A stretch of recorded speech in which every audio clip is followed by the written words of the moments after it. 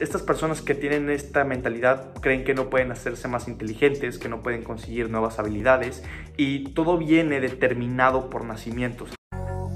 Así que bienvenidos a otro nuevo video, mi nombre es Memo, soy director y cofundador de Centennial Agency, una agencia de marketing digital especializada en e-commerce y en paid ads.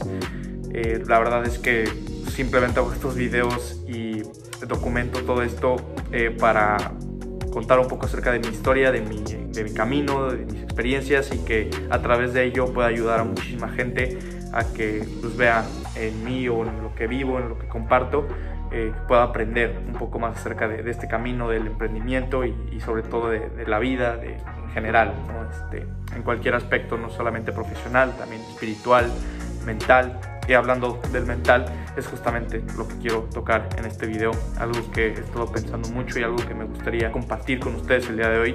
Y es justamente uno de los pilares de la vida, uno de los pilares que creo que te puede permitir abrirte la puerta al, éxito y eso es la mentalidad, ¿no? Entonces en este video quiero hablar un poco más acerca de la mentalidad, el mindset, qué es y cómo tener una mentalidad de éxito. Entonces, ¿qué es la definición de mentalidad. ¿Qué es? Bueno, pues para mí personalmente la definición que acepto es tal cual que la mentalidad de cada individuo es su forma de entender su propia existencia. Cada persona tiene una serie de ideas, convicciones que conforman su visión general sobre la vida. Tales ideas y convicciones son el fundamento en tu mentalidad. Lo que tú crees, lo que tú piensas, es al fin de cuentas lo que es tu mentalidad, lo que conforma tu mentalidad. Y para este video me he documentado mucho, he leído mucho y algo de lo que con lo que más me quedé y en lo que quiero, en lo que me basé para hacer este video es en el libro de Carol Dweck de mentalidad fija y mentalidad de crecimiento. Ese libro es muy recomendado, la verdad si lo, si lo pueden leer, ya sé que lo, que lo compren en físico, en Kindle, digital, lo que sea, denle, denle denle una oportunidad, échenle un ojo porque la verdad es que lo recomiendo muchísimo y toca más a fondo obviamente todo lo que voy a estar hablando en este video. Entonces, básicamente Carol Dweck en su libro habla de que hay dos tipos de mentalidades, la mentalidad fija y la mentalidad de crecimiento. Ahora, empecemos por la mentalidad fija. La mentalidad fija es esta mentalidad o esta creencia de que tus habilidades no pueden mejorar. estas personas que tienen esta mentalidad creen que no pueden hacerse más inteligentes, que no pueden conseguir nuevas habilidades y todo viene determinado por nacimientos. Así tal cual como nacieron, no pueden mejorar y tal cual esa es su genética, casi casi. Entonces ellos piensan que tienen cierta habilidad y esa es con la que vivirán por el resto de su vida hasta su muerte. Las personas con esta mentalidad, como resultado, su meta se convierte en parecer inteligentes y nunca aparentar ser estúpidos. Son los que creen que si les va mal es normal porque no están hechos para ello y lo dejan de lado en cuanto puedan. Básicamente crean estas excusas de que no es mi culpa, simplemente no soy capaz de hacerlo y no es para mí. Entonces, shit happens. Ahora, por el otro lado, la mentalidad de crecimiento de la cual habla Carol Dweck en su libro son estas personas que entienden que tanto sus talentos como sus habilidades pueden ser desarrolladas con esfuerzo y persistencia. Estas personas tienen una cierta cantidad de esto de base, saben que todos somos iguales, pero también saben que pueden mejorar si trabajan por ello. Estas son las personas que cuando son rechazados o fracasan entienden que es en parte por culpa de ellos, por no estar suficientemente preparados y saben que tienen que trabajar más en ellos para conseguirlo la próxima vez. Y estos temas de mentalidad fija, mentalidad de crecimiento, si tú crees que tú tienes una mentalidad fija, la verdad es que no tienes por qué preocuparte porque todos la tenemos. Personalmente yo tengo una mentalidad fija o tengo una parte muy importante de mi mentalidad tirando mucho a ese lado de mentalidad fija, ¿no? Y en sí es mucho porque la sociedad nos ha creado así. muchas veces hemos, desde que somos muy pequeños, hemos sido como programados a esta mentalidad fija, ¿no? A esta mentalidad de quedarte en tu zona de confort y no arriesgar tantas cosas y ¿para qué crecer si ya puedes estar cómodo en donde estás? Entonces, si quieres cambiar tu tipo de mentalidad fija a de crecimiento, lo mejor que puedes hacer es crear pequeñas oportunidades para demostrarte que puedes hacerlo. Planete objetivos relacionados con lo que quieres lograr e intenta conseguirlos. Empieza poco a poco, de forma que sea fácil. El objetivo es crear confianza a base de demostrar que puedes hacerlo todo poco a poco. No hace falta apresurar. De hecho, personalmente creo que la forma más fácil de cambiar tu mentalidad es convertir esos objetivos en hábitos. Y hablaré un poco más a detalle eh, sobre esto en próximos videos, pero te quiero compartir rápido los hábitos que mejor me han funcionado para lograr esto. Número uno es levantarse y, y dormir a una misma hora.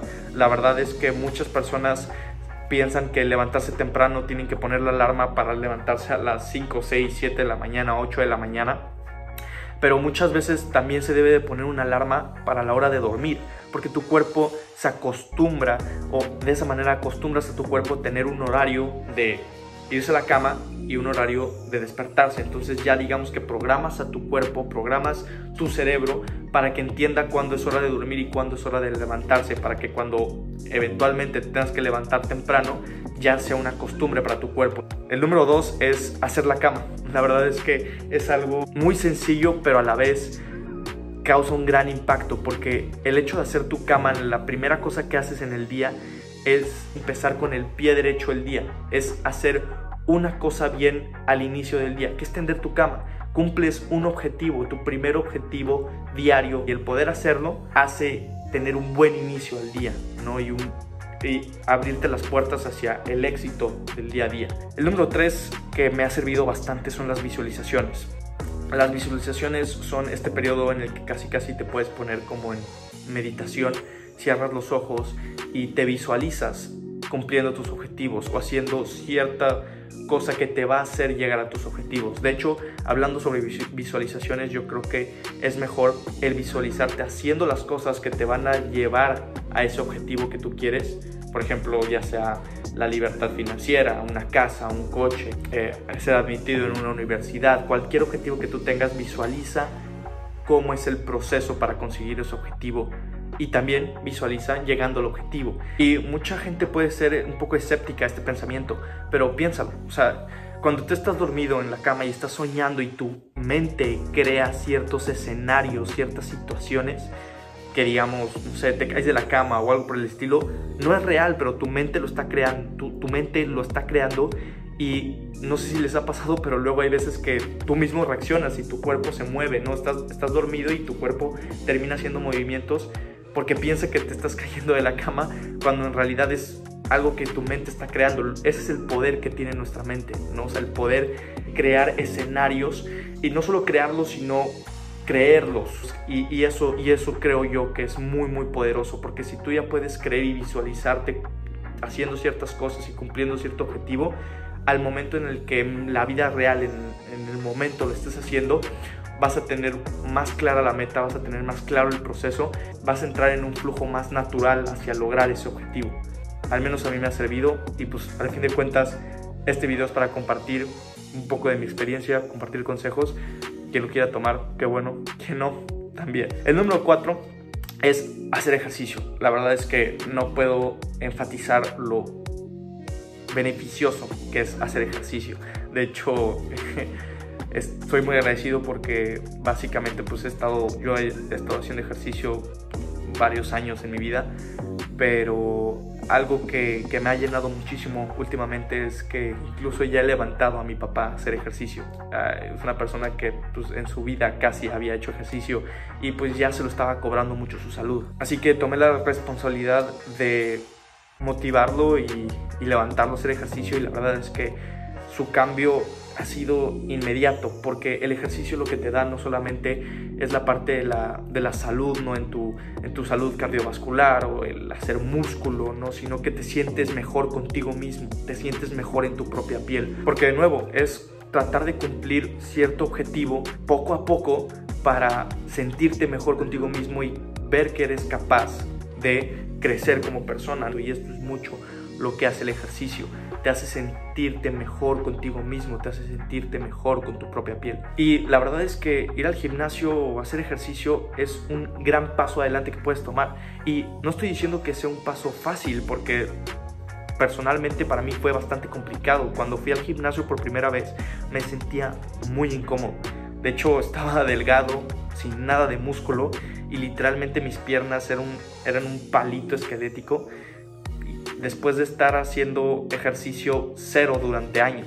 Pero aún así fui y poco a poco fui sintiéndome más cómodo conmigo mismo y empecé a progresar siendo consistente con mi rutina y alimentación. Entonces, a medida de que vas viendo cómo puedes lograr lo que te habías propuesto y lo vas haciendo, te vas demostrando que eres capaz de mucho más de lo que creías. Te demuestras que eres bueno y que lo que necesitas solo es tiempo, esfuerzo y sobre todo perseverancia. Y bueno, eso ha sido todo por el video de hoy, un poco diferente, pero como dije, cuando siento que tengo que hablar de algo, lo hablaré y espero que esto haya sido de ayuda. Entonces, me gustaría saber, a ver si lo pueden dejar en los comentarios, ustedes a qué mentalidad pertenecen. Coméntenmelo aquí abajo. Y sin más, nos vemos en el siguiente.